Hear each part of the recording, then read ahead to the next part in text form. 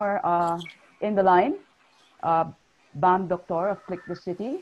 Bam, please go ahead. Uh, hello. Congratulations again. Uh, I know you've mentioned this earlier, but I just want to ask, what are the prices again for the for each vid for each movie and for the whole bundle? Ah, okay.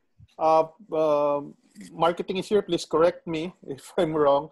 Uh, the you can get a bundle of uh, three to five films, which is three to five. I mean, five titles per bundle uh, for 75 pesos. If you just want to uh, look into that, uh, the the if you want access to all, that means you can watch it anytime you want, and even like access to the webinars and uh, talkbacks and other features. You can you pay a one-time fee of 350 pesos and you can already watch as many as you want.